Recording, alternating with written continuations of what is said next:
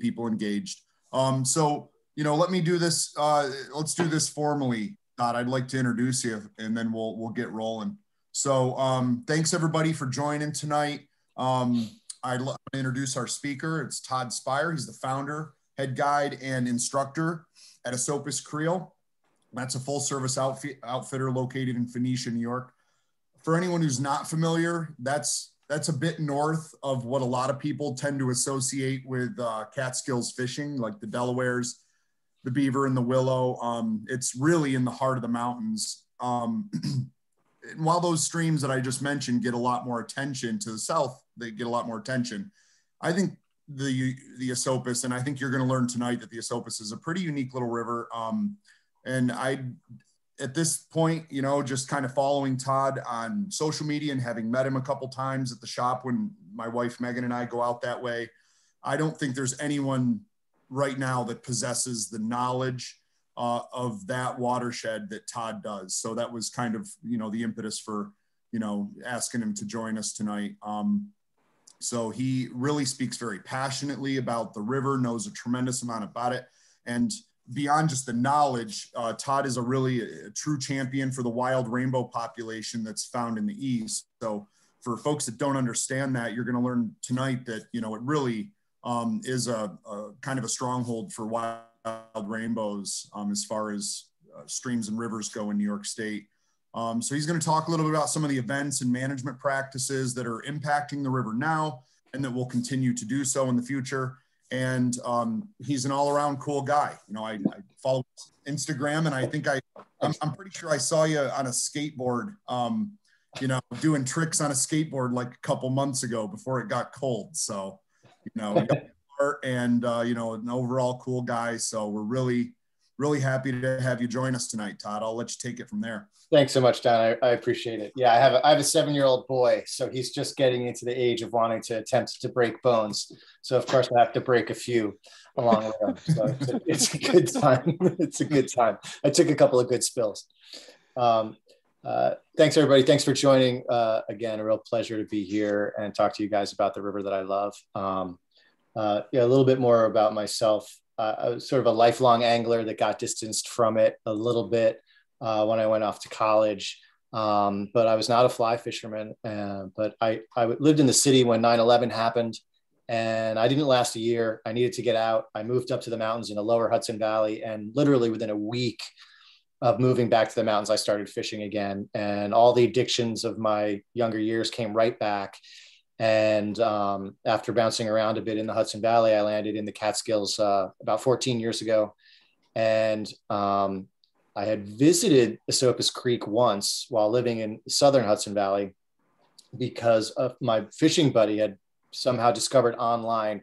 Now, and you have to put in perspective, this is like 20 years ago. So a little harder to find information on on the web 20 years ago. But he had un, uncovered the fact that that the Esopus had this wild rainbow trout population. So we actually came up me and him and another buddy of mine we came up the day before april 1st uh, day before opening day for whatever reason to scope out the Esopus and we found this you know beautiful river. We drove around and had lunch and talked to people and the whole thing and basically just river gazed because it wasn't yet open and then it wasn't until I think maybe about eight years later that I actually wound up moving up here and this becoming the river that I love. And I started to fish and uh, closed on my house in the middle of winter uh, and started learning how to cast in a field um, before I'd even ever had a chance to fly fish. And uh, so that's what sort of began my love of fly fishing. It was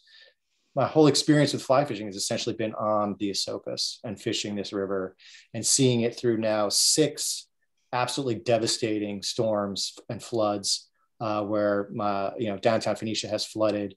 Uh, people have, you know, lost homes, had, you know, lives and families uprooted by storms. Um, and of course, we'll wind up talking a little bit about the one that we just had on Christmas because it was half the size of Irene. Um, so a lot of the sort of watershed management issues that we were just finally fully recovering from uh, have sort of reared their head a little bit. It's not going to be as bad as Irene, uh, but it's interesting and it, it's sort of a good segue into talking about um, about this river and, and kind of what really makes it, was you know, um, the amazing place that it is in the Catskills and what differentiates the Eastern Catskills from the Western Catskills. So I think I'll back up a little bit and just, and not to go back to the sort of Theodore Gordon part of history here in the Catskills, but if you don't know, um, the, the, the, the, the, the, rivers here, what they're really uh, known for is the evolution of the sport, primarily in terms of gear and fly tying. Um, you know, obviously the sport came from Europe, but the, the evolutions that happened here specifically are what made fly fishing what it is today globally. Um, everything from patterns to um, you know uh, the, the first the first issue of Fly Fisherman magazine, which was laid out on the banks of the Esopus at a small lodge called the Rainbow Lodge. Uh, the first hatch charts done by Art Flick were actually started on the Esopus and finished um, on the Schoharie. Uh, you have America's first fishing resort uh, located uh, in downtown Phoenicia. You have uh, um, unsubstantiated, but apparently some of the Payne's tapers were test driven here that are still used today in bamboo rod making. Um, obviously, the first locally relevant dry flies, uh, the classic Catskill dry fly style of tying, all of these things um, that were started here on these rivers. Um, the really famous part, though, that Don mentioned before, obviously, sort of the Delaware system uh, in those areas. Um, the, what's interesting about the, the Delaware is that uh, historically it was not a trout fishing stream at all. Um, if you read books before the 60s, um, you'll find that uh, references to the Delaware refer to it as one of the premier bass fisheries because it was a warm water fishery. So um, the uh, the reservoir system here in the Catskills, if you don't realize, is all the rivers pretty much of the Catskills are impounded for uh, New York City drinking water. Uh, the, in almost every case, except for the Schoharie, the creation of the dams became uh, the very thing which has now, in the face of global warming and natural occurrences, sort of saved the fisheries of the Catskills. Um, in, nat- in, their natural state, uh, pretty much every, almost every fishery, except for the ones in the eastern Catskills where we are, uh, would be uh, warm, cool enough for trout, but primarily would be the sort of typical put and take trout fisheries that um, have become more and more the norm uh, nationally with, with, with water temperatures going up. They simply don't have the elevations in the headwaters to carry cold water all the way down to the areas where we tend to fish. Um, so it's the, actually the creation, the cold water releases that come from the dam system that's been implemented here that uh, has really kept it uh, this incredible, incredible fishery uh, across all of the rivers of what are affectionately referred to as the charmed circle of uh, the Catskills, um, which is an old uh, uh, fishing article um, that's referred to often from the 60s. Anyhow, so the the system that's over here um, on the eastern Catskills, what's referred to as the High Peaks region, I think I might have said that before, you have this is, is all glacial deposits here, right? So uh, on top of the uh, sort of pseudo tailwater that we have, we don't have a dam at the top, we have a portal that imparts it sort of halfway down the river. Um, in addition to this incredible influx of cold water that we get here, which sustains our wild rainbows, um, we also have these um, wonderful mountains that are technically not mountains at all. They're really a um, they're really glacial deposits. They're piles of glacial till. Um, they're not tectonic or volcanic upheaval, which is what we normally affiliate. Uh, is the, the, the, textbook definition of what a mountain actually is. Um, and we have all these great consequences of the fact that these are essentially piles of stone instead of uh, pushed up uh, volcanic um, movement of, of, of bedrock. Uh, the piles of stone do two things. They create, for one, an extremely rapid rate of descent in the mountains that we have here.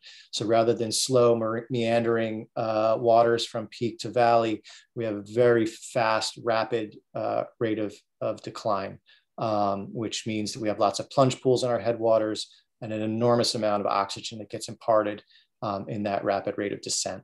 Uh, the glacial till also creates just a natural filter for the waters um, that come through here. There's a local joke, two stones for every dirt, which uh, I even love the, the sort of grammatical error in that. Um, there are uh, anywhere that you dig, everything is dirt. If you need to put a fence up in the Catskills, uh, it should take a day. It's going to take two weeks because every hole is going to take you two hours. Everywhere you dig, every rock is a river stone, and it's just pervasive. Um, there are, uh, so you just get this natural filter. It's one of the reasons that New York City identified the waters of the Catskills is because they knew that they were going to be getting this unbelievably clean water that ultimately still to this day is not, um, does not go through any filtration. It's the world's largest all natural water supply. Um, they do add some uh, alum to it because of the turbidity that we have here. Um, and uh, what have it, alum actually attaches itself to the to the um, the clay particles that we have here in the Catskills, and then just drops them to the bottom of a reservoir um, that's down in, in Westchester, just above Manhattan. Um, so, uh, and then obviously we've got these just wonderful cold water um, uh, seeps and aquifers and and, and everything. Uh, we have there are little valleys here in, in, in my area, the Catskills, where you can still find ice and snow uh, into June. Um, you know, that's how cold uh, some of these valleys are. Um, if, uh, as conservationists, if you've heard about the Blue Hole, which was sort of like a public area that got overwhelmed by tourists in the last couple of years, got a lot of natural attention. Um, people think that the name of that place refers to the color of the water, and Catskills water tends to be sort of blue, green, turquoise uh, in its clearest state. Um, but the name actually comes from the color of your lips when you leave um, because the headwaters of the that are some of the, the coldest waters that are in the Catskills. And like I said, I've seen ice down there in June, um, right where uh, we have this sort of like amazing uh, uh, brook trout fishery in the in the upper upper part of the Rondout. So um, the uh, and what I, I, was talking before, some of you hadn't made it, I had the honor of sort of getting invited up to the very private property um, called Winnisook, which is the headwaters of the Esopus. And I got to visit that uh, about a year ago, almost to the day within about a week and a half. And uh, what's interesting about um, the, the headwaters there is that uh, the, the hilltop, top of Slide Mountain, um, what I refer to as as the worm crawls, because it's not really as the crow flies, but you're you're literally like the top of one side of the little ridge is the headwaters of the west branch of the Neversink, and the other side of the ridge is the headwaters of the Esopus. So uh, as the worm crawls, it's about probably it's less than 100 feet. Um, but it takes you same thing. It takes you a while to walk around or over or what have you. Um, but you have completely different geological makeup and different pH. Ultimately, that dramatically uh, changes pH on on either side of, of that ridge. Um, and it's all about just the way that the glacial till kind of poured out. Um, and what it does for us is it gives us near ideal pH conditions um, for trout. Uh, and the headwaters up there at Slide are one of the most rain rich environments in the entire state of New York. Um, so you've got this really cold, really wet, uh, slow releasing headwaters. By slow releasing, I mean a, uh, just sort of uh, slang. I don't, I don't even know if there's a scientific term. That, you know, some rivers will just spit all their water out very, very quickly. Uh, they don't have deep uh, aquifers, and so like in a rainstorm and post rainstorm, you know, that water will be gone uh, very, very quickly. One of the things that's fantastic about the Esopus is that water really clings up top, and it's just imparted slowly. Um, so it's just sort of a, even even when it's the middle of summer you're still going to find cold water way up in the headwaters. And assuming that uh, we don't have flood state, uh, sort of like a, a, flood situation down in, sorry, uh, drought situation down in the New York reservoirs, and we're able to hold on to the water that's in our reservoir, um, we get cool water coming out of our portal all through the summer. The uh, reservoir that feeds our river, the Schoharie, uh, relative to the other uh, reservoirs uh, in the Catskills is very small. So the Cannonsville, which feeds the west branch of the Delaware, uh, enormous. The Pepacton Reservoir, which feeds the east branch of the Delaware, enormous. That water the cold water is never exhausted in those watersheds, and that's why those those watersheds are so fantastic. Um, in fact, I, the the East Branch um, of the Delaware, I believe, is one of only about six rivers in the state that received the um, premier wild fishery designation in the new in the new regulations. Um, we actually, it's the opposite problem on the East Branch. You usually have to drive downstream to find water warm enough to fish. That's how cold the mm-hmm. water can be, even in the middle of summer, um, coming out of the coming out of the uh, um, the Pepacton uh, up in Downsville. And honestly, we have the same. We have a similar problem here on the Esopus. The Esopus is usually pretty slow to start. So uh, you know, people that that are just you know chomping at the bit for that first Hendrickson hatch of the season um, year after year after year, those hatches come off and nothing surfaces, nothing comes up to eat the first hatches that happen on the Esopus. It's still cold and the fish are still kind of in their, uh, you know, their pseudo hibernation and, and, and it takes them a little while to move. You got to go uh, from a fishing perspective, you got to go deep beginning of the season um, until, until stuff really turns on. Uh, as a guide, I don't take first timers out until uh, May 15th, actually. It's just a, a, little rule that I have because it's that, it can be that difficult to, to have some successful outings, um, especially for first timers. But, uh, but all these things sort of come together and make this unbelievable environment here for, for wild trout. As Don mentioned, um, what we call silver bullets here on the Esopus, the wild rainbow trout population that we have here is, uh, is really, really fantastic.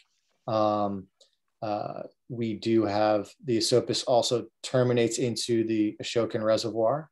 So you have these typical environments where trout can get large, move down to the reservoir, get even bigger because they have better food supply down there, and then come back up into the Esopus and spawn uh, the way that they were meant to. Um, and uh, with that, with those conditions of constant cold water and then a, like a big playground for them to get nice and big, uh, before they start spawning, we are able to sustain uh, an exclusively wild rainbow trout population, a very healthy brown population, and uh, brook trout populations in most of the tribs and especially the headwaters of the river. Um, I don't talk about that too much on social media. Uh, and then uh, we have actually begun doing some, uh, sorry, we being uh, my Trout Unlimited chapter, uh, Pepacton chapter, uh, we have been doing some heritage strain brook trout studies in our tributaries and have continued to find success uh, in identifying actual heritage strain native um, uh, brook trout. but what, what happens, what's interesting about any place that's been lived in and fished for a while is that every tributary has a story. Every little population of non-migratory fish has a reason for being there. In many cases, there's tons of impassable falls on our on our tributaries, and uh, you know, time and time again, you wind up after years of fishing a place that you think is just completely uh, crafted by the hands of nature. And one place in particular I can think of uh, that it turns out that as a as a uh, as a young boy, some some old timer that's now in his 80s used to carry browns up from the river uh, in a bucket and has created an unbelievable non-migratory trout population up in the headwaters of one of the tributaries here. Um, and you'll just you'll get stories like that. So it's an interesting it's interesting mix um, of of it's become an interesting mix of of of stocked and wild trout here in the Esopus. But one of the reasons uh, that you know Don invited me and is to talk to you about uh, what happened here as far as protecting the wild trout populations of the Esopus, uh, in that we were actually able to get the DEC to overturn uh, the designation here for, for, for trout. Uh, we were slated to be the most heavily stocked river in the entire state by the numbers. And those numbers were going to increase from 2020 to 2021 uh, on a fold of seven, about 7,000 trout increase. It was going to go from, it was going to go from 17 or 18 say, sorry, 16, sorry, 17,000, so 17,000 up to, to 24,000, uh, increase of 7,000 trout uh, that they were going to, to add um, to the, to the brown stocking uh, here on the Esopus, which had us generally rather disappointed, obviously. And, uh, but we had been talking for, for, uh, you know, years and years to uh, DP and DEC um, after the the uh, the creel studies that had been done here, that we were just seeing, excuse me, just seeing enormous numbers of of rainbow trout uh, here on the Esopus. And I think through a combination of just sheer persistence on behalf of the Trout Unlimited chapter here, and then um, uh, a PR campaign that I launched called simply, you know, the Esopus is wild that I launched on social media, which encouraged people to post and go back in time and and re uh, tag photos that they had taken with this with this hashtag. Um, that uh, that we actually got them to take another look at the river in between the initial draft uh, of the new regulations and the one that came out uh, the beginning of this past of this winter, uh, which went from one end of the spectrum to the other. Um, I had actually sent, and I don't know if you guys got it, but I'll speak to it. I could I could probably put it up um, on the screen. ironically, when these reg new regulations came out in December, uh, I had started working on um, I started working on a, a, chart that really looked at just sort of in very simple terms, like what does it take for uh, what does it take for a, a, a fish population to rebound? Thanks for pulling that up, Tom and and you can kind of get a, a, get a sort of a quick look at this. Um, and the chart starts at, at 2011. That's what that's when Irene hit here. At, well, sorry, hit everywhere, but obviously destroyed our river. And um, it was also the start of the creel surveys. And I don't know, uh, I forget off the top of my head what the nearest river to you guys was, which uh, was used um, by the DEC to update um, uh, the, the, the, the, the, trout stocking algorithms, for lack of a better word. Right. So if you don't know, um, what really happened, what really informed the new stocking regulation statewide was a study of eight rivers. Um, and in one case, it was a river and its tributary. I'm not, I can't remember why or what have you, but um, so eight watersheds that were used as benchmarks for the entire state, uh, the state's reassessment for, for stocking regulations. Um, and the first year of those creel studies was 2011 when Irene hit. So starting these creel surveys with essentially loss of what I call the first three year class, um, which you'll see all the way in that first column, all the way to the left, the year of the young, the fry, and the egg. Um, those three at least were essentially would have been completely wiped out by what we had was a peak flow of 80,000 cubic feet per second measured here on the Esopus during Irene. Um, that's about the, the, amount of water that's going over Niagara Falls, I believe, um, that was that, that we had here. Um, so for the for the three years following Irene, uh, you have an unbelievably compromised population of rainbow trout here on the Esopus. And um, by my estimates, it's actually something that immediately gets worse, not better, um, in the first couple of years. Because as you, if you start to do the and and see what happens as you progress from left to right across this chart, as you move towards say 2014, you literally have um, you've got eggs in year of the young, and you have technically six year old trout, but you have nothing in the reproductive age class for rainbow trout, which is generally three to five years. Um, so you actually have years then after the initial hit of the storm where you have no trout that are reproducing. And it's really, um, or in this case, no rainbow trout that are reproducing. So that's the data that they had when crafting the regulations and when you sort of look at it in this way and say, oh, right, of course, you would have seen data that would have indicated a terrible two things. One, that we need to put a ton of trout in if we want to achieve angler satisfaction. The DEC uh, used to define angler satisfaction simply as one trout per hour. And so they had an algorithm that would determine from river to river how many do we have to put in so that any person, regardless of skill set, is going to interact with one trout every hour for of fishing. That was that was what the definition was. So obviously, if if data coming off of this is what was informing that, it would have said, yeah, you know, we need to put a lot more fish into the river to to achieve angler satisfaction.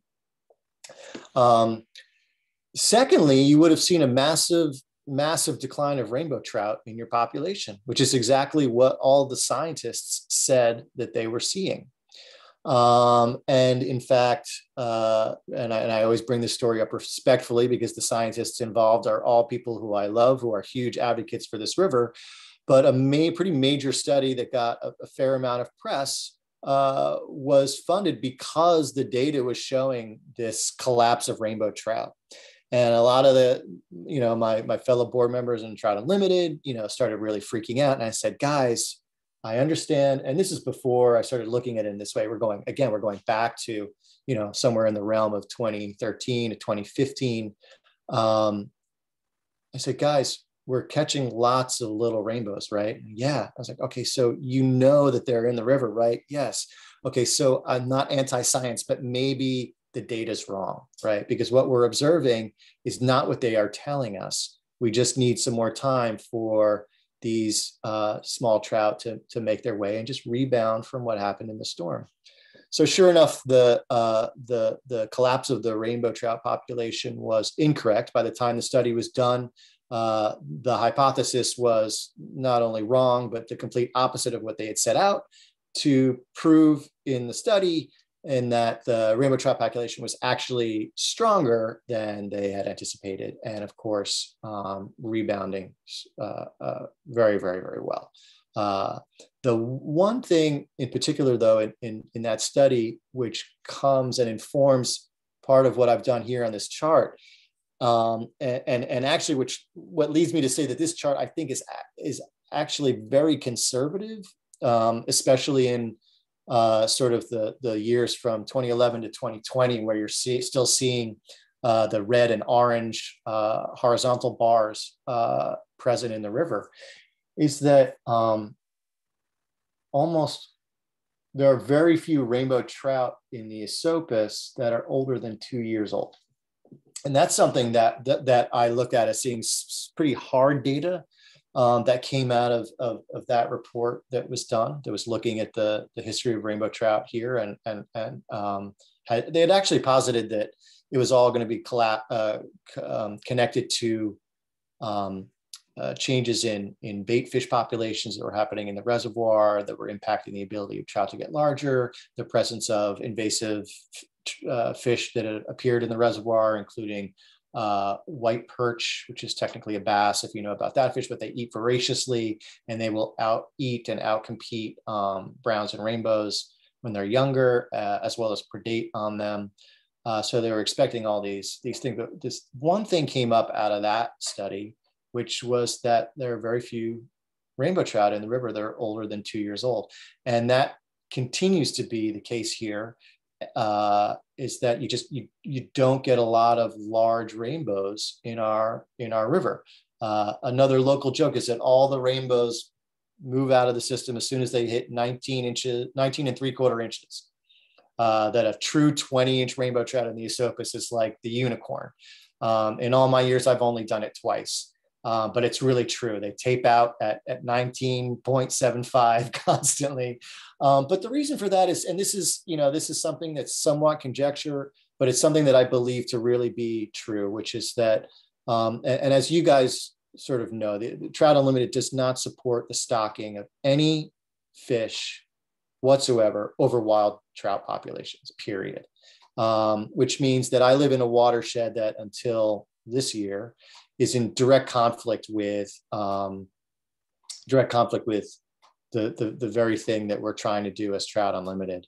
Um, uh, I'll mention one thing before because we can probably take this down now. You guys kind of get this idea and start to look. I'll point out one thing though is is if you look at 2021 and you look at the little note that's up top there um, 2021 was to be our first year with six generations of only semi-compromised rainbow trout uh, in, in, in the river. Uh, we've been seeing the rainbow trout population rebound and unbelievably in the last three years, especially, which has been incredible. And if you look at 2020 and the preceding years, you'll see that that um, way up at the top, the very first row, you'll see that after years of, of pretty much 20,000 trout, that they even last year they dropped that number by 3000 in the stocked uh, stocked trout. And and and we all could see that even that slight dip made a positive impact on the number of rainbows that were staying uh, that were present in the system.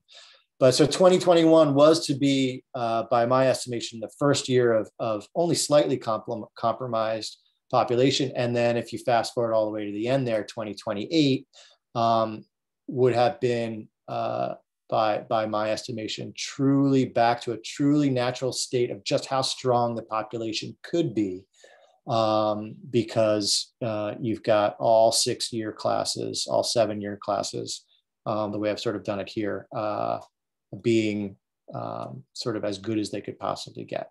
Um, but of course, we got another storm. So um, you can essentially, with the level of what we got, could pretty much transpose all those red lines all the way to the right now over to 2021 because especially for you know for the time of year that that hit again a, a bit later than a bit later than uh, when Irene hit. Irene hit in August.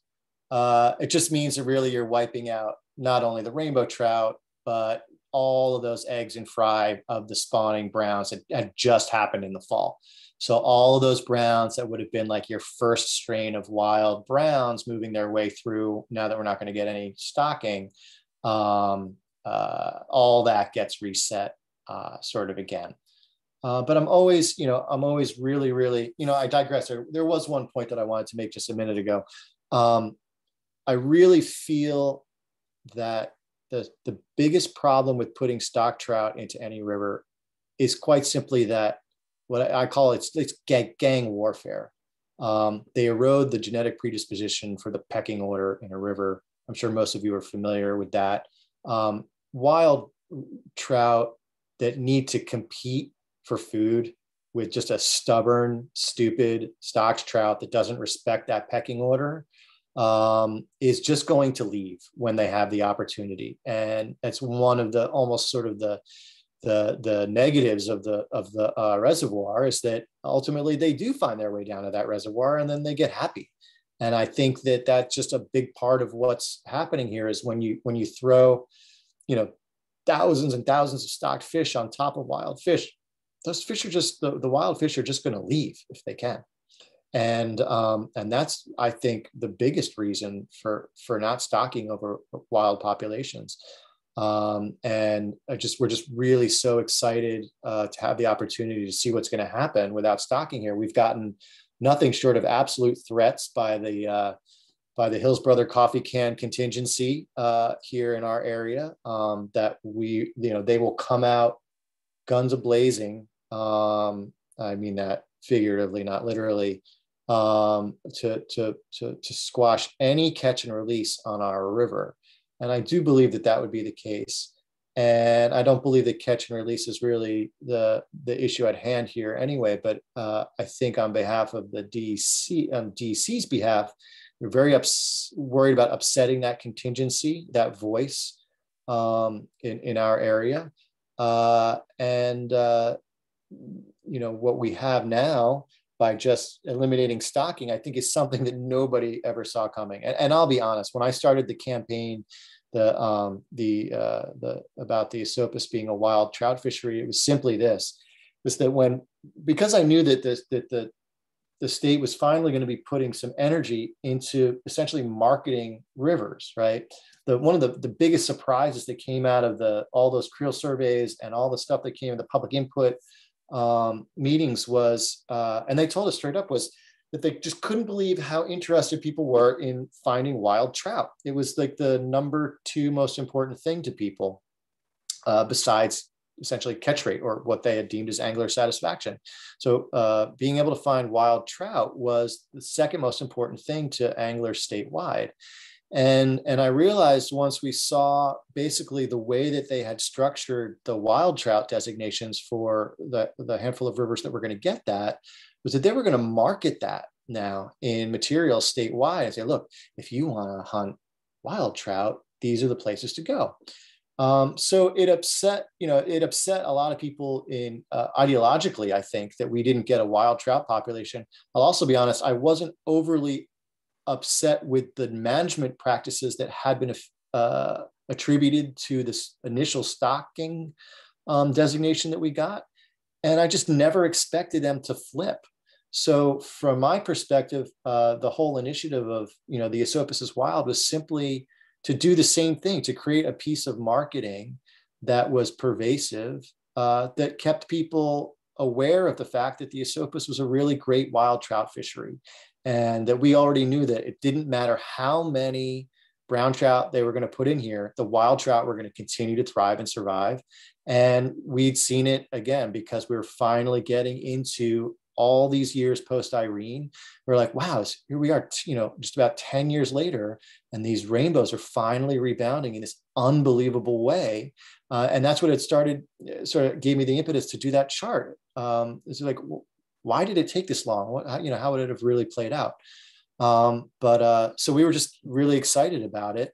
Um, and uh, what we jokingly started to talk about a couple of years ago, and then people literally did start talking about was that we should just start, um, you know, eating more stocked brown trout, and that we should actually start encouraging catch and keep.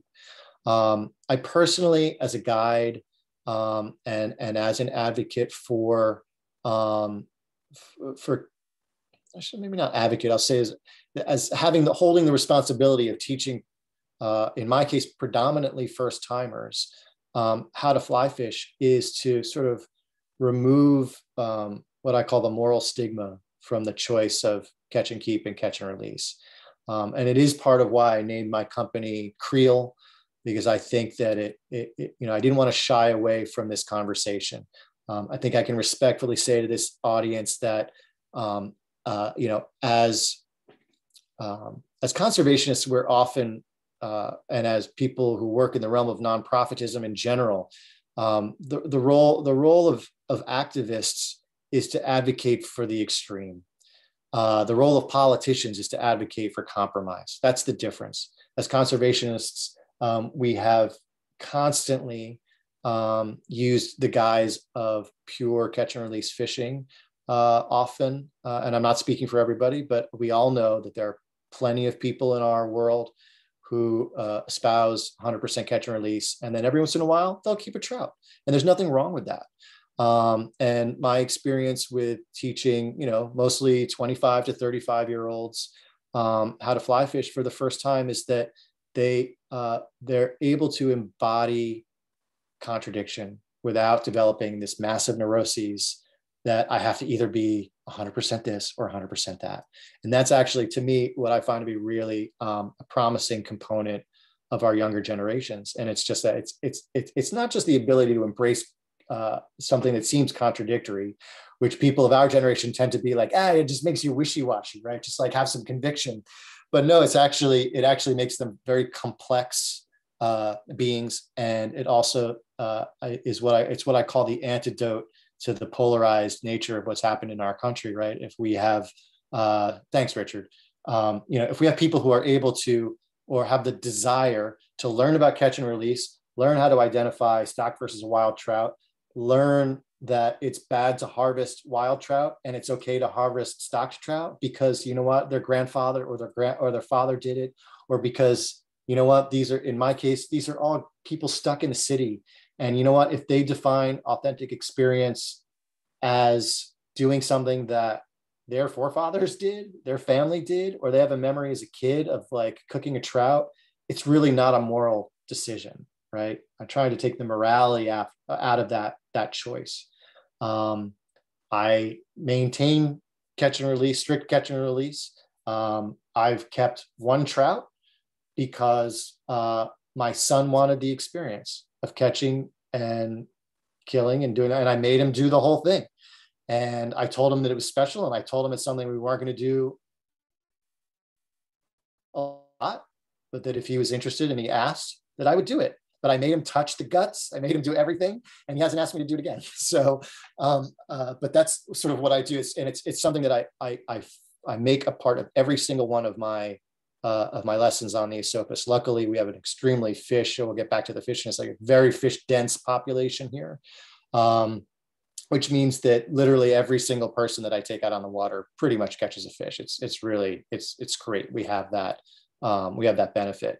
Um, with that high fish density comes, though, as I was saying before, competition for food and a smaller average fish size. So the Esopus is not a big trout river uh, historically. Um, but that said, it's exactly what we're going to start to get um, in now that the, the stocking is going to stop. Um, and so here's here's some of the some of the things that I've learned, some of the secrets uh, of what happens after a massive storm like what we had with Irene or what we have had this Christmas storm. Um, the Christmas storm was half the size, almost almost on the on on the nose. It's half the half the CFS of um, of Irene. Uh, so we had forty thousand CFS um, in this Christmas storm. Uh, I the last I checked, we're still getting uh, turbidity NTUs in the 50s, which is just an astronomical amount of turbidity. Um, the uh, local DEP office is still evaluating the impact. Um, I'm still driving around. I, just, I, haven't been able to drive every tributary and drive up to the Schoharie because whatever's um, the you know everything that's feeding the reservoir still has to make its way through the Esopus um, through our portal. Um, what is typical CFS for this time? Um, typical. Well, this year, you know, it's it's really just average average flows that they need to, to send water through our system, whatever they need to do to get water through us and down to the city to keep the reservoir, the downstate reservoirs full, right? So the, I forget what the total across the entire capsule is what the system holds, but the, the downstate system only holds a repository of about a hundred, now I'm forgetting, it's either 100 or 200 days of water. Uh, New York City consumes just over a billion gallons a day and the downstate system holds i think it's 200 billion if i'm remembering right? So in any given moment even though you're like oh 200 days right? If it never rained again you've got 200 days. And to the DEP that's not a lot of days for the city right? The city would implode without water. So their their role first and foremost is essentially to keep all the downstate uh, reservoirs as full as possible uh, allowing for uh, you know flooding uh, and not getting too close. So the average flow for right now, because you're everything's frozen and you're not getting any runoff, is actually relatively low. Uh, but then pretty quickly in the beginning of the season, you'll get um, they'll start moving more and more down state um, to really make sure that they're filling up and capturing as much of the runoff, right? Because it's a you know, while it's an essentially exhaustible resource, there's also the limits of what the reservoirs can hold. So even if you have a surplus of water, it doesn't mean you're high on the hog if you have nowhere to put it. So we have release channels and stuff like that, which cause all these other problems we're not going to get into. However, another secondary issue post storm is how do you get rid of all this turbid water, right? Is you have to push some water through the lower surface, and people on the lower surface get um, a little bit bent out of shape of that. But um, you know, so we have loss after a storm like this. You have loss of the surplus. You just you can't you have nowhere to put it, so you got to get rid of it. Um, so it's it's only just enough. So uh, right now flows are are extremely low. It's hard to tell though for us because actually we had numerous um, our gauges got wiped out in the storm and they haven't come back online yet. So um, so there's that. Um, I will mention though that the Esopus has several uh, USGS gauges um, on my like on my website. We aggregate all of those. Um, but if you're coming down to fish are and i keep saying it but we'll get back to i guess we have plenty of time we'll get back to the fishing part um, is uh, one of the things for sure if you're planning a trip on coming down to the esopus is to look at the gauges and look at turbidity um, because uh, it can it can it can make your day bad um, if it's too turbid. I generally tell people that um, because NTUs is such a weird number anyway, but in our system, six six and below, um, six NTUs and below generally means that the entire river is is relatively fishable. Um, uh, anything sort of 10 and below, uh, if you as you get to know the river really well, um, you can figure out if you get here, um, okay, can I can I? And it's not basically the middle of summer either. When it's an absolute warmest, you figure out where that turbidity is coming from. Is it coming from the portal, uh, or is it coming from uh, one of the tributaries? Uh, and then try and get above uh, where the turbidity is coming from. So I'd say that you can usually find, especially in the shoulder seasons, um, you can find fishable water up to 10 uh, as you start to get more familiar with the system. Um, I don't know the degree uh, because I'm, I, I, don't fish up by you guys as much, um, but the tributaries here play a big part uh, in your angling success as well. Um, and again, especially in the shoulder seasons, um, the tributaries here have been hit very hard by successive high water events. And because of back to that two, two stones for every dirt thing that I mentioned earlier, um, you have a lot of material that's been moved around in our tributaries um, that is not doesn't necessarily properly convene into the main stem and pushed downstream. So a lot of our tributaries have unfortunately flattened out, uh, become shallow, and become very susceptible to ambient temp warming uh, from the sun. So when you're in your shoulder seasons, uh, the the tributaries are the more you learn the tributaries, and this goes for really any fishery, but especially if you're in a turbid fishery, if the tributaries are running clear, you know, aim for spots on the main stem of that of the of, of your watershed uh, that are just below clear flowing tributaries. Um, so when we're getting a lot of mud that's exclusively coming out of the portal, you aim for a trib, and sometimes that can be just enough to uh, be imparting clear water that's going to get um, rainbow trout moving more. Rainbow trout are sight feeders in ways that uh, brown trout are not. Um, so the turbidity compromises the ability for especially wild rainbow trout, uh, not hatchery trout, um, that that exist here, the wild rainbows, um, you know, they have a harder time eating when the um, when the water is is really muddy. Um, so you'll you'll sometimes see uh, better uh, rainbow trout uh, opportunities just below those tributaries. Um, similarly, the those ambient temps I was just talking about uh, at the very end of the year, the very beginning of the year, uh, peak sun around you know uh, one or two o'clock means that those tributaries are going to warm up a little bit more than uh, the Esopus and then be imparting slightly warmer water that might be just enough to trigger hatches um, just below uh, a tributary in the main part of the Esopus. Um, I'll, I'll tell one of the spots I'm always happy to share because a lot of people shy away from it is, is downtown Phoenicia on the Esopus. Um, the Stony Clove comes in right there. You have great pocket water. Um, there's not a lot of uh, um, uh, spots to access there and it's very exposed, um, but the views are absolutely beautiful. And uh, there's a, a, little stretch that's only about, I don't know, maybe uh, maybe 100 yards uh, between a bridge and the Stony Clove. It's just a fantastic little pocket water stretch that holds huge fish.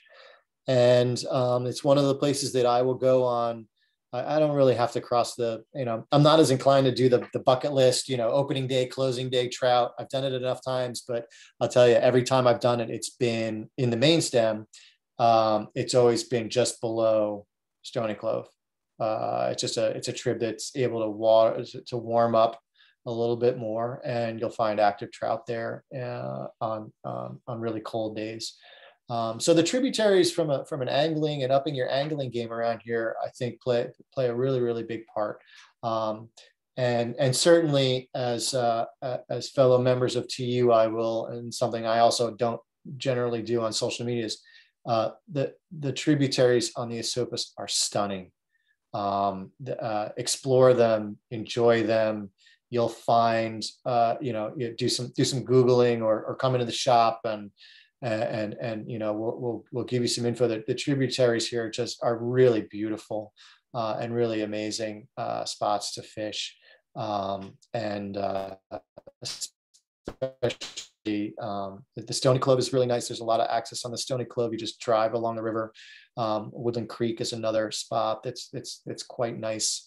Um, and uh, yeah, actually affords uh, Woodland Woodland Creek is a tributary that has a contingency of landowners that allows it is not public access uh, fishing, uh, but you'll see a special sign that says uh, fly fishing only access, um, and it's literally just hey, it's my land, and I've decided to put up a sign that says if you're fly fishing, you can fish my backyard, but you can't do it. You can't do it with with uh, spin gear. Um, so you know it's a very uh, friendly environment here.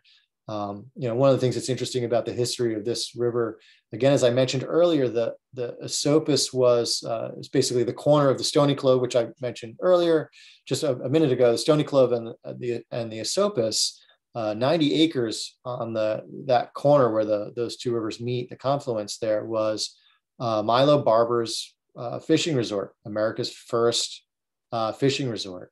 Um, what's interesting about uh, Milo Barbers and when it launched, and um, the exact dates are I'm, I'm forgetting at this point. But um, you know, one of the reasons that the Catskills became a very famous fly fishing destination, apart from being great fly fishing close to New York, was the Hudson uh, River School of Painters. So a little back to a little bit of history lesson. Uh, the Hudson River School of Painters, championed by Thomas Cole, uh, is a name that a lot of people know. Uh, ironically, Thomas Cole was one of the only one uh, painters of that crew that was not an angler. Um, and all those guys that did the, the, those famous Hudson Valley uh, paintings were actually or emulating a sort of a, the right to wander uh, laws that existed in England, right, and exist to this day. if you don't know, you can walk around England um, you can't fish the rivers anymore, but now it's strictly hiking. But you can you can essentially trespass as long as you're not sticking around. Um, and that's basically what a lot of those those painters were doing. In fact, they invented um, uh, they invented glasses that were basically colored colored lenses in the glasses that would al- allow them in the middle of the day to mimic the light that you would see at dawn and dusk. So everybody wanted dawn and dusk paintings, but these guys wanted to fish the hatch. So they actually developed glasses that allowed them to look at the, the, the land and look at the rivers and look at the mountains and sort of uh, mimic what they would look like more at dawn and dusk by wearing glasses. And that's when they painted. They painted in between, in the middle of the day, in a lot of cases. Um, but those those and, and if you know your history uh, a little bit, you know that well, that essentially, um, uh, yeah, exactly, rose-colored glasses. Um, the the the history of outdoor recreation was basically fueled by these paintings being exhibited uh, down in Manhattan. Uh, people saw the paintings, and when they found out that uh, people had, and a you know, real short version that oh, you killed all the all the Native Americans in the Catskills, and we can go there and stay there. Oh, oh that's great. Okay, let's go. And so um, that was really what gave birth to outdoor recreation because outdoors, before we started exterminating Native Americans, was a scary thing to do because you could you could get killed out there. Uh, uh, and um, the, the, those paintings became the advertisement for the Catskills and for the Hudson Valley. Um, but enough, um, uh, within about a year of those paintings being exhibited and reviewed and lauded down in the city, Milo Barber started advertising in newspapers down in the city. So there is actually overlap between the, the launch of this first fishing destination and the marketing uh, that surrounded Milo Barbers and the exhibitions of these paintings. Um, so uh, people came to the Esopus and started uh, fishing up here and fishing the Stony Clove, uh, that's where Milo Barbers is located. Uh, there are reports, and gosh, I haven't read them in a, in a while, but there is a published report in a newspaper out of Kingston. And don't forget, right, Kingston was also back uh, for a, long time, was still, you know, highly political because it was the original uh, capital of, of New York. So um, that's where people were taking the train over to up to Kingston and come over Uh, but there, so the Kingston newspaper reported uh, fishing excursions on the Stony Clove that boasted uh, literally thousands and thousands of trout being caught in a matter of two days on a weekend. Um, uh, multiple multiple reports of catching, and those were those were all brook trout, right? So this is before this is before the federal stocking program was in place. Um, so this is all brook trout, all native, 100% native brook trout that they were talking about, and catching them literally by the thousands and thousands. I'd have to. I, am I'm literally I'm blanking on the on the on the exact number right now, but it's in Ed Van Put's book, um, uh, fishing fly fish uh, fishing in the Catskills, um, fly fishing in the Catskills, excuse me, and um, uh, those reports are just they're just they're just bonkers uh, of the number of of of uh, brook trout that were here. Uh, they were, in fact, for, the most part, fished out. That's that's how that's how heavily recreationally fished the Esopus was um, uh, in its early years. Uh, and then when the there's stories when the reservoir was actually created, um, in, in, in most cases the reservoir systems for the reservoir systems they would build the reservoir, valleys were flooded, and then um, it took somewhere around a year or two of uh, forcibly um, putting screens over the intake valves for all those reservoirs to remove the, the last of the debris that they weren't able to really get up when they relocated all those homes, right? So you had eminent, eminent domain that came in, they kicked people out of their homes, they cut down trees, leveled land, but then all every branch and stuff like that that they didn't want flowing through this giant, you know, um, uh, Army Corps of Engineers project of, of the main aqueducts, right, the Catskill Aqueduct and the and the Delaware Aqueduct that go down to downstate. Um, and the stories go that on a daily basis they were removing two foot brook trout from those screens as they were flooding the basins. Um, so that that's what we, we had here was essentially a, a what a never to be seen again world class uh, brook trout fishery. That that's what the natural state of this place was uh, before the creation of the dam system. Um, so you can imagine the sort of lingering animosity that still exists about the creation of that dam system. Um, but uh, as I said earlier, uh, all things given, uh, we would and not so much the Esopus, not as much the, the eastern part again, because we've got the high peaks here, and that's something that the Delaware system doesn't have. It's you know natural. Its natural state is a warm water fishery. Our natural state is a cold water fishery, and to some extent, we would still always, and we all will always, there will always be trout here. There's no way to exterminate all those trout unless you had like really catastrophic global warming. Um, but uh, but it, the creation of the reservoir system has really uh, I uh, I hate to say it, or I love to say it. I don't know. Save the trout fishing in the Catskills um, from east to west in all of our rivers here. Uh, it's pretty amazing.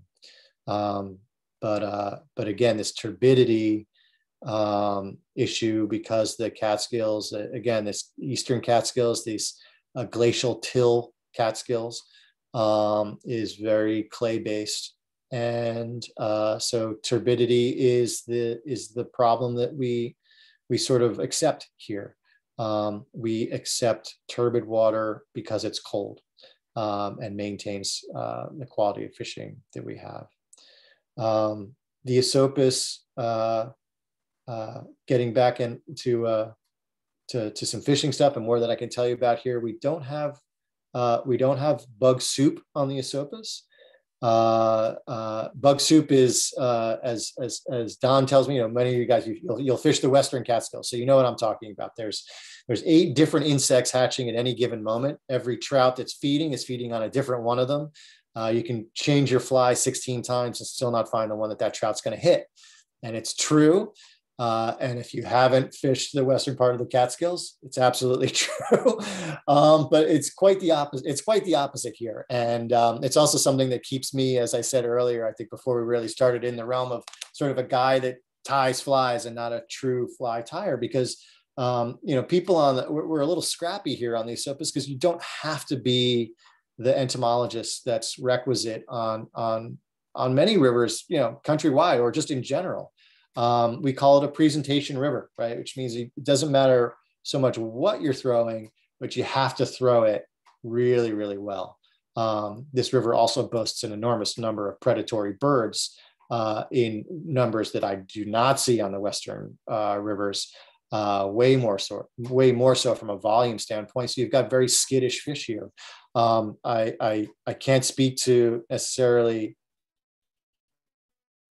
uh, what the experience is like for for other guides necessarily, but um, uh, I can push I can push a client with or without experience know that they have not laid out the right uh, uh, the right cast and and know with near certainty the second that that fly hits the water um, that it that that's the one that the client finally got right. The presentation was finally right and i know that that trout is going to rise.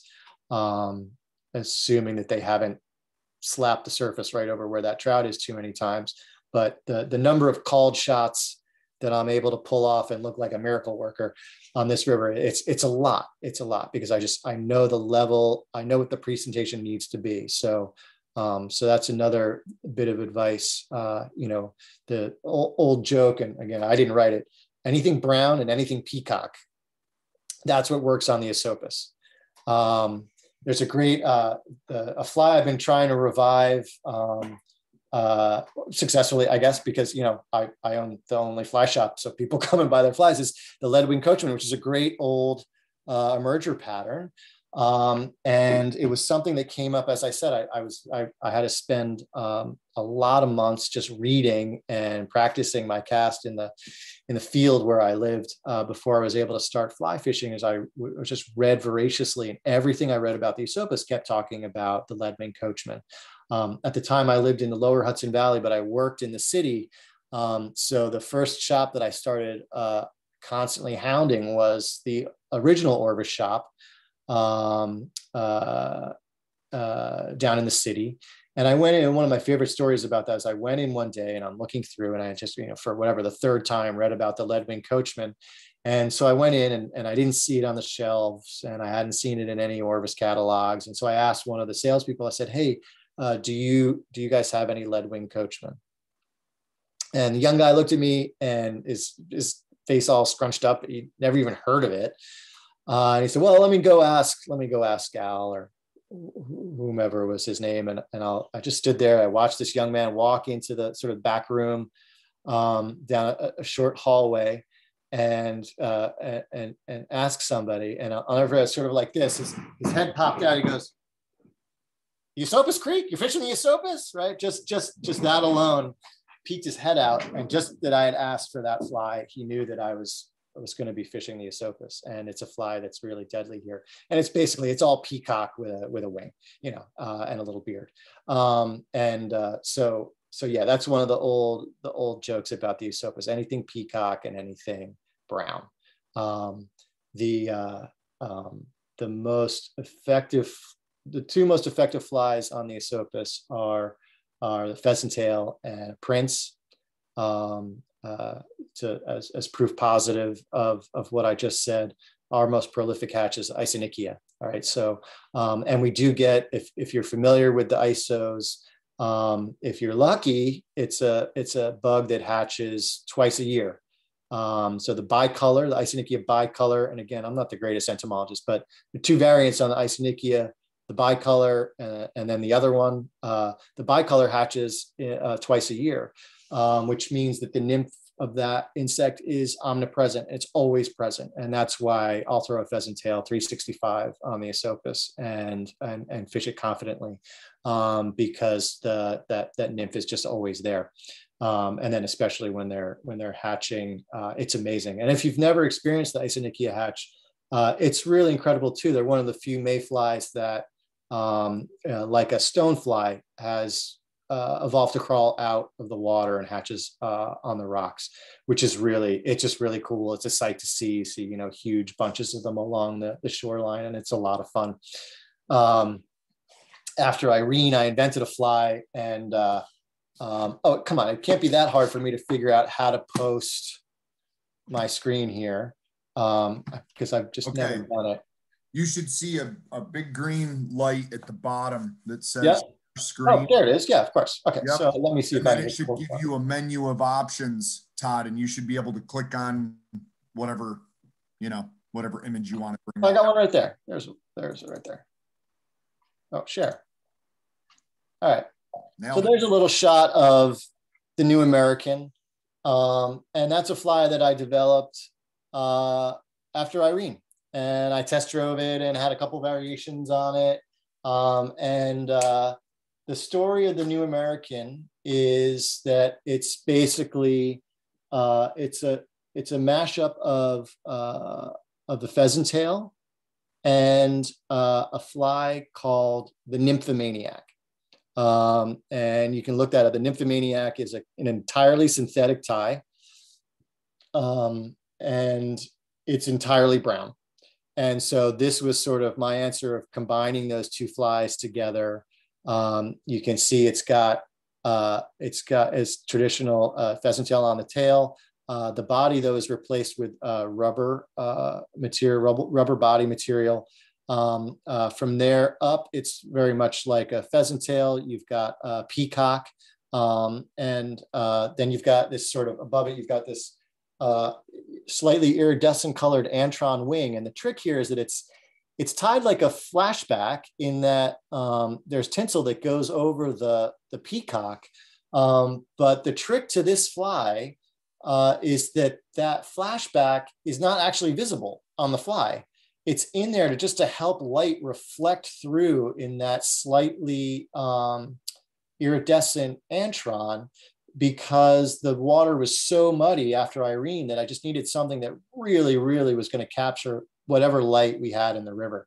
Um, so it's it's uh, and then it's just got it's got a collar of um, uh, material that I used to get from Doug Swisher, and now I forget where I get it. I just finally found a pretty decent uh, replacement, uh, but it's there's some rubber legs in the in um, uh, in the in the collar uh, dubbing there, and um, but it's it's really, it, but by my estimate, it's really this essentially buried tinsel that helps the light to really bounce around. It's not it's not an overly complex fly, um, but I'll tell you these rubber body materials, if you're a tier, are so unforgiving. Um, whatever's underneath it needs to be perfect to get like a really nice taper like you see here. Um, and one of the tricks that I've developed that really helps with this tie is, and what I like about um, the the body material um, that I use again, it was a it was a Doug Swisher product, and I've been gradually finding good replacements for these. Um, this material, as opposed to like a tube, which has very slow or almost no memory um, in that rubber, uh, this this very thin rubber that has 100% memory so when I'm tying the bottom of it, I'm actually pulling the material extremely tight so that it stretches out like a rubber band and gets thinner. And as I'm wrapping, I'm loosening the tension on it so that the material itself actually has a thinner diameter when I start the tie at the bottom and a thicker as I make my way up.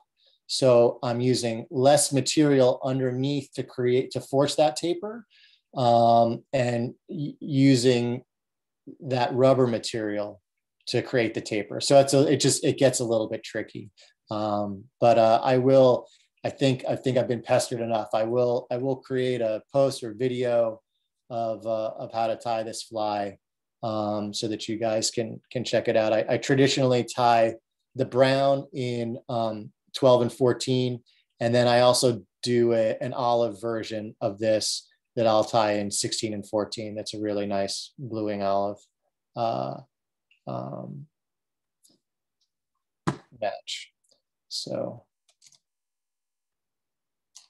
uh, beyond that, um, you know, really any really traditional profiled flies, uh, anything traditional Catskill style um, that's uh, just getting, you know, just getting it in the ballpark uh, is is going to work well. So again, my my advice to you guys when you're fishing the Esopus is to uh, rather than um, ra- rather than think you might have the wrong fly, uh, think that you might have the wrong presentation, or uh, um, you know, like, like like like all fly fishing, right? That they're going to be picky and, and what have you. But um, you know, sometimes that six inch difference makes all the world here.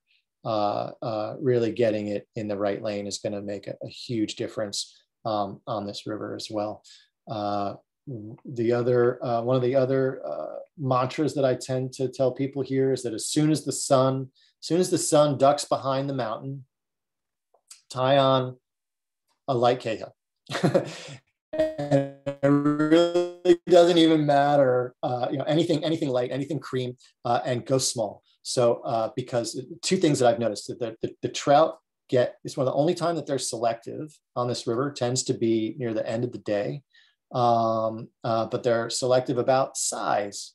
Uh, uh, and at the end of the day here, once that light disappears, you're not going to see very well, um, especially I'm like the poster child for eyes being the first thing to go.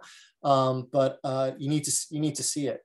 Um, so uh, that's something I, I, always tell people. Uh, always carry size 16 light Cahills, um, and uh, that's kind of what you want to switch to at the very end of the day here. Uh, the the the hatches at the it's it's we are also it's one of those rivers where the absolute best, and again, especially in the what I call the sweet spot of the shoulder season in the spring, um, uh, May 15th to the end of June, those six weeks, uh, the the best fishing is when is right at that point where you can't see, um, right at that very very end of the day.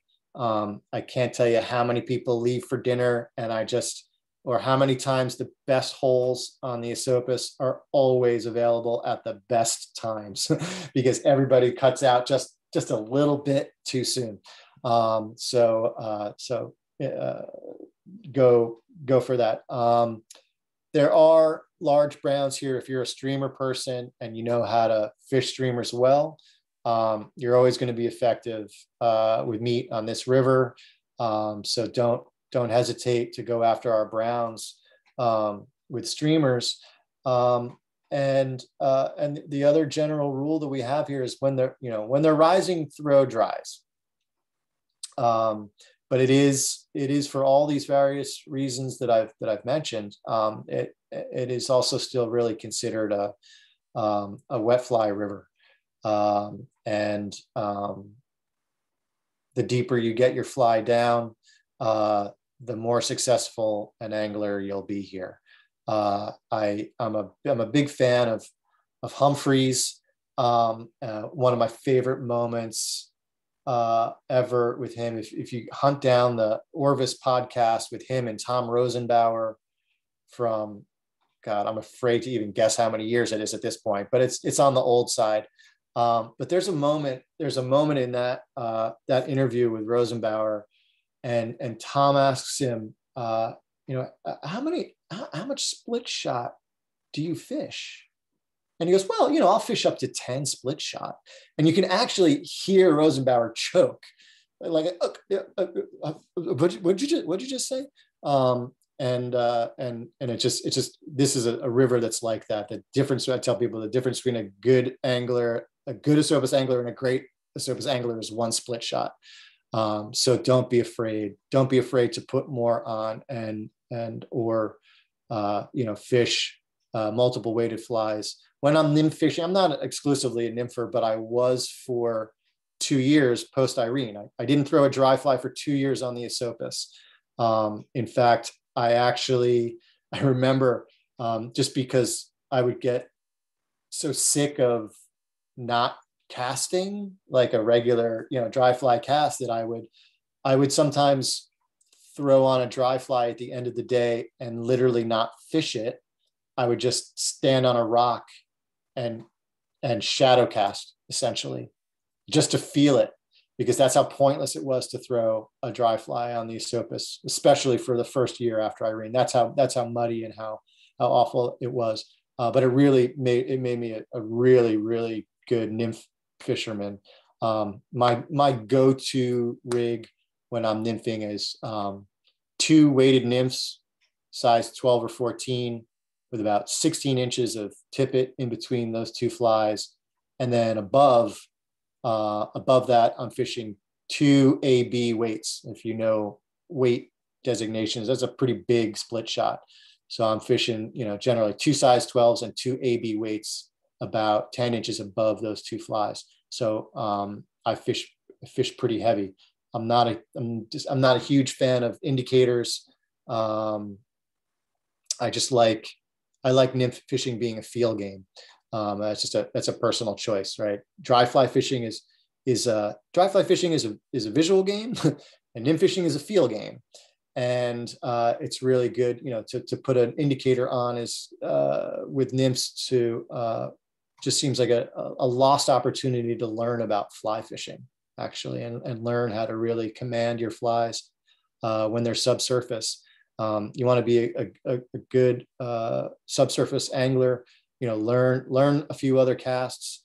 Learn learn how to do secondary roll casts. Learn how to do a tuck cast. Um, learn learn all the real tricks of how to get uh, use your cast to effectively fish flies deeper, and you're going to be a, a better uh, you're going to be a better angler.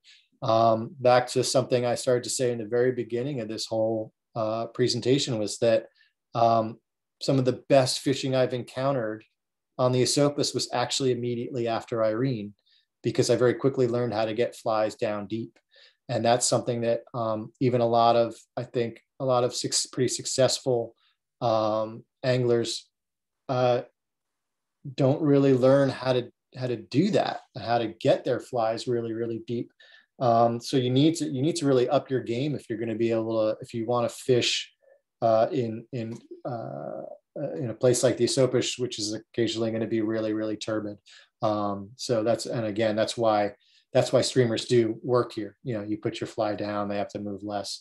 Uh, it's really um, you know the, the the the less that trout needs to move, uh, the better success you're going to have as an angler. Uh, and I think that's another thing that really just can't be stressed enough. And it's something that it's something that I find um, that I'm.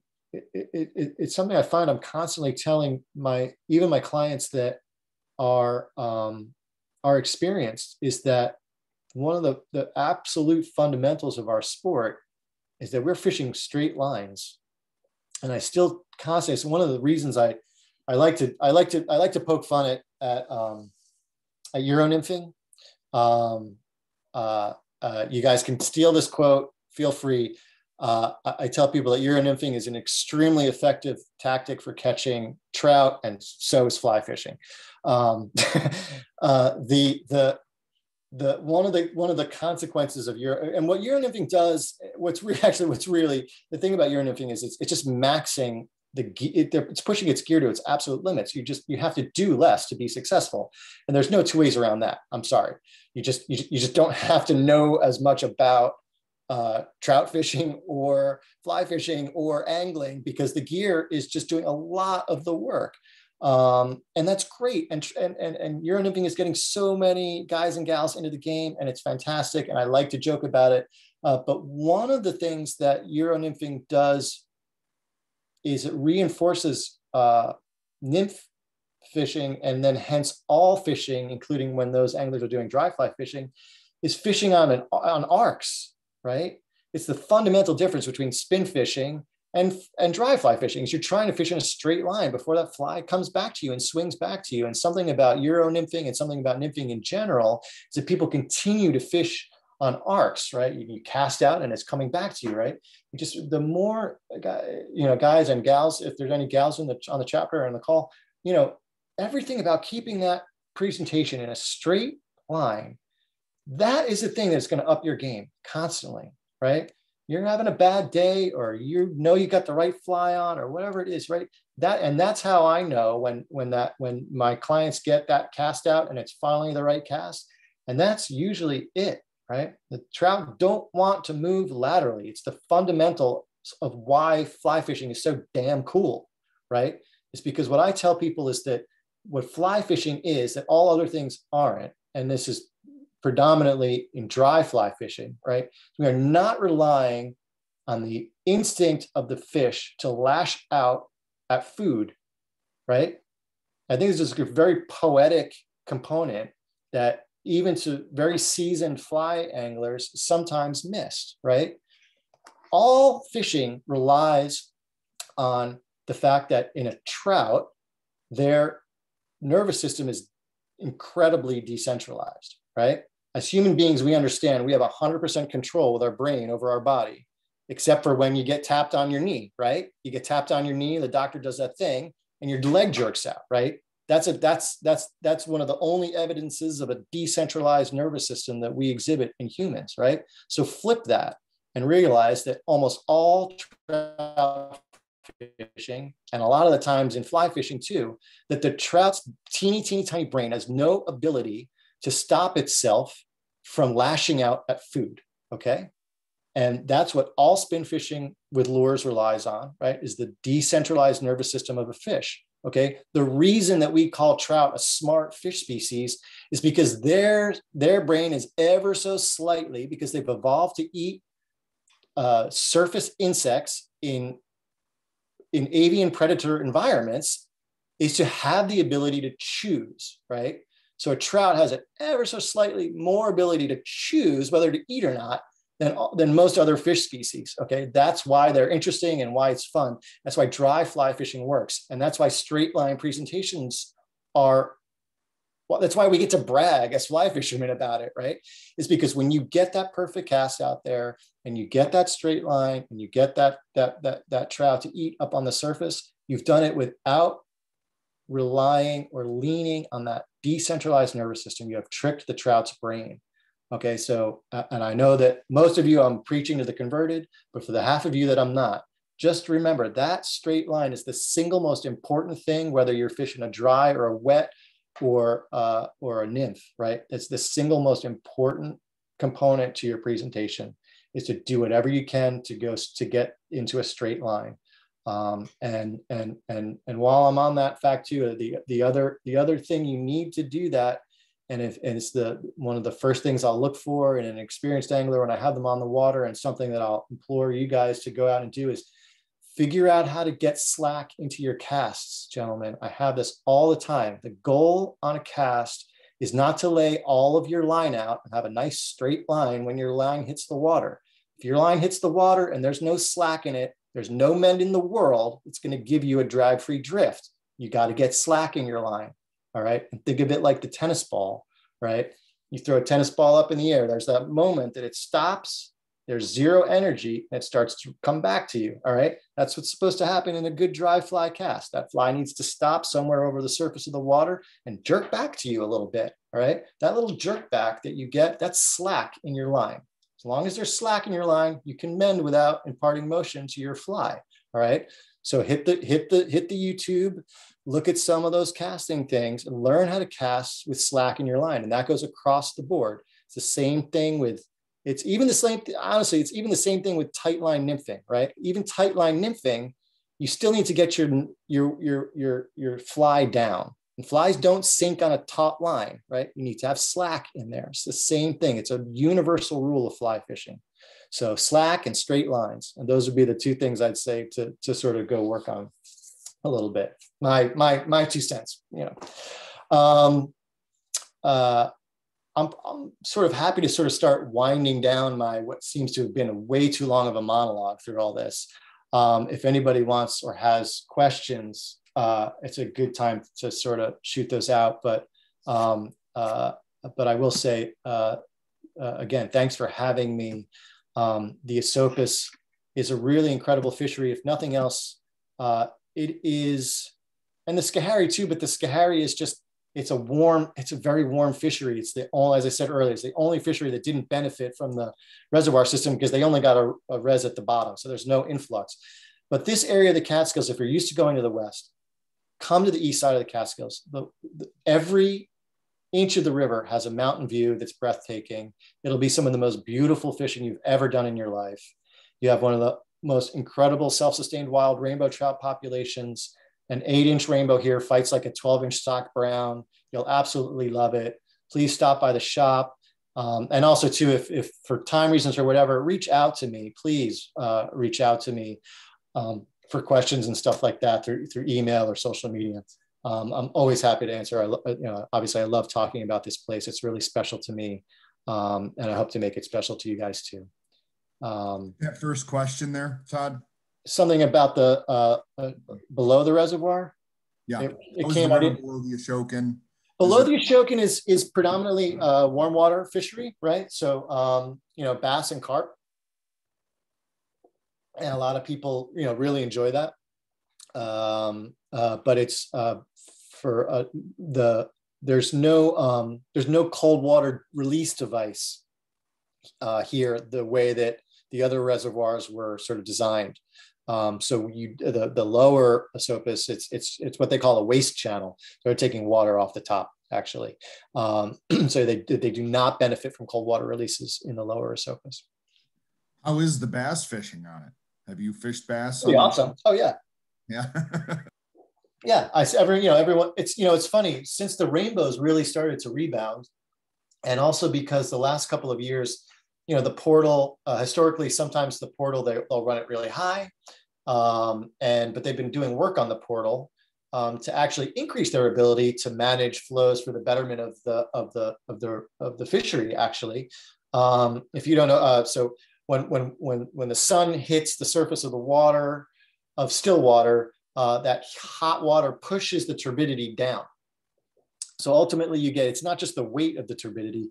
And also just to clarify in the Esopus, the, the turbidity here is, is technically, it's not mud and it's not, um, it's not contaminant, right? It's just clay, suspended clay particles, right? And that's different from fishery to fishery. Sometimes it's a contaminant, sometimes it's mud, sometimes it's clay. Anyway, um, the, uh, uh, what was I saying? Oh, about that. We were talking about bass.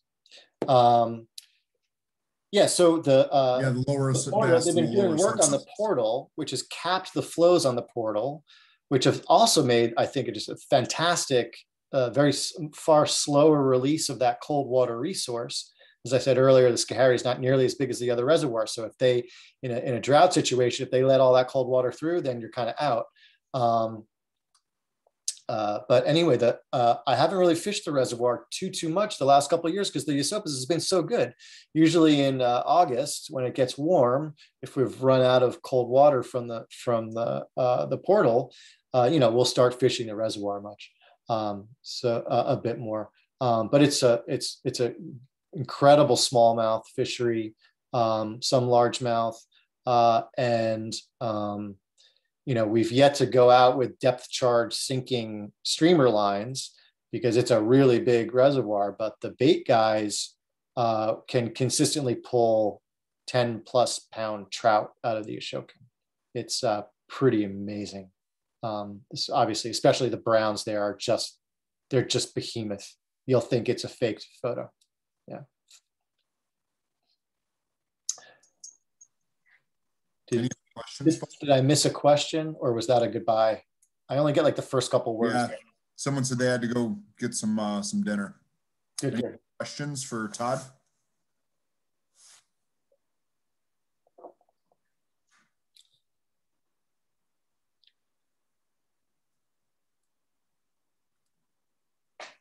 Oh, it's there. Can you see it here?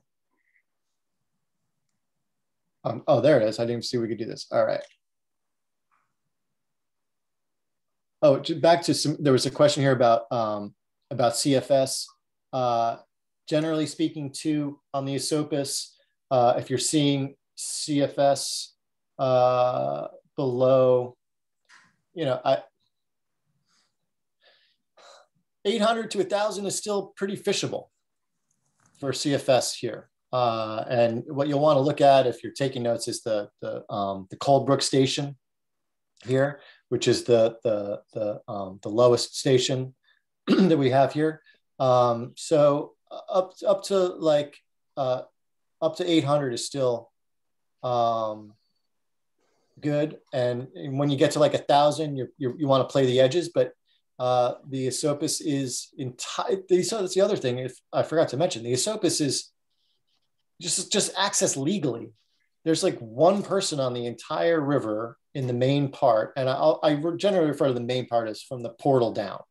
Uh, I just, I just, I don't, I don't talk too much uh, about above the portal. There is more private property up there, mm-hmm. but it's also until you, until you know, I don't talk about it because it's you don't have the influx of cold water, right? So if people aren't walking around with a thermometer up there at the right time of year, they can do a lot of damage. And and and and with the audience sort of that we have for, for the company, it's, it's a lot of people. So I don't just talk freely. So generally speaking, right, I'm talking about from the portal down. Um, but that's, uh, you can, you can, you can access 100% of the, you, sorry, you can fish 100% of the river from the portal down as long as you access legally, right? So, um, and there's tons of pull off. So there's, there's just, there's always water to fish. And that's another that's interesting about, you know, our river has gotten a little bit um, more busy lately, but just keep, um, um, just keep driving around, right? Just, just find a place, right. That doesn't have uh, as, as, as many cars, but that's the other thing too. You can, you know, most of the spots on the main part of the river, uh, there's a lot of water. Um, you know, it's a medium to large sized river. So just because you see two cars doesn't mean that you can't still roll in there. Um, so uh, please do. What level of turbidity do you think we should expect on the Esopus when the season opens? That's still um, that's still rarely a little up in the air. Um, oh, it's Ben. Hey Ben. Um, uh, I, I, I'm. It's going to be I think it's going to be up. Um, but usually in the beginning of the year, when the um, portal and uh, um, when the portal is releasing the amount of water that they want to move downstream, it's usually up anyway because the river's flows are usually up in the very beginning of the season, and that's another reason why um, fishing doesn't generally turn on here until May. Um, but uh, but as I said before, I think um, I'm still like I'm trying to talk to some of the guys at uh, Cornell Cooperative Extension here and DEP uh, to get a full assessment of what you know how much turbidity do we think is coming, um, and uh, you know I'll be making a lot of posts about that as we move into the season, what the real what the real impacts are going to be. Um, but uh, the other short answer to that, and again because we're a crew, crew of Trout Unlimited people, is um, if you want to catch fish in the beginning of the season, you should be on the tributaries anyway because they're going to warm up, right? So you fish the tribs in the beginning of the season uh, if you want to catch, if you really want to catch trout. Um, cool, cool. Well, uh, again, thanks to everybody. I hope you guys enjoyed it. Um, thanks for Thank having me. that was great, Todd. Thanks so much. Yeah. I'll say, this I'll say awesome. too. I um, I'm gonna. I just finally, I bit the bullet. I'm gonna do. I'm gonna do a live stream once a month now. Um, it's the third Monday of the month, so that'll that'll be going up on um, on uh, on Facebook and Instagram, whatever. Uh, I'm gonna probably do it on Instagram. That's where most of our audience is, um, but I'll figure out if there's a way to do it on both simultaneously. Um, so uh, if you have questions uh, specific to the Esopus or specific to angling or otherwise, feel free to hop on that. I'm going to be doing that. And the first one's going to be actually next Monday. Um, and uh, I hope to see some of you guys there. So, uh, so thanks again. Yeah, I um, can't thank you enough, Todd, for joining us tonight. It's it's a really unique river, and hopefully, folks were able to, you know, um, you know, take some information away about it, and maybe we can uh, get some more people interested in checking it out this year. hopefully, hopefully, what happened over Christmas isn't going to be too damaging you know that's that's the that's the hope well the, the the big thing too is and again i mean i've seen a storm twice as bad as this and the fish always come back. Like i said this fishery just it's just a confluence of of of, of good environment environmental conditions for trout. Um, so uh, and and especially for big trout right after a storm because all the little ones have been washed away right? So yeah. we won't be getting stock trout and there won't be little trout. It's just going to be big trout heaven. The few that are going to be there are just going to get fat as hogs. We're going to get some torpedoes growing in that river this year. That's, that's exactly what's going to happen. Um, so, uh, so bring your, bring your, bring your game and uh, size, size down on your tippet. Let me clarify. Did you guys move the shop to, you're in downtown now, right? In Phoenicia? Uh, right next to Woodstock Brewing. Um, okay. You're, still, you're still there then on Good. the main road. Yeah, absolutely. Good. Absolutely. Cool. Awesome. Yeah. Awesome. I usually try to go out a couple times a year, folks. So if uh if this pandemic business ever gets behind us, you know, I'm I'm more than happy to to cart another angler with me if um, we ever get to a, a better place with everything. So I'd always uh, welcome someone to join me. To I like to spend a couple days out there in the spring and fall, and usually bring my wife out in the fall and we, I mean, it's just a beautiful area. You know, we go down to the rail trail and and I um, spend a couple days on the Esopus, and you know, there's good places to eat and good beer, and so it's a really beautiful area. So, um, thanks again, everybody, for joining us. Thanks again to Todd. Um, just keep an eye out, I guess, on the Facebook page and on our Instagram. Once we figure out what we're doing, moving forward into the spring, we will uh, we'll make sure we announce things. But we like to keep everyone on their toes. So, um, again, thanks so much. Thanks, Todd. Everybody, be safe, be healthy, and um, hopefully, we'll see you soon. Thanks, guys. Have a great night. Sidelines. Bye bye.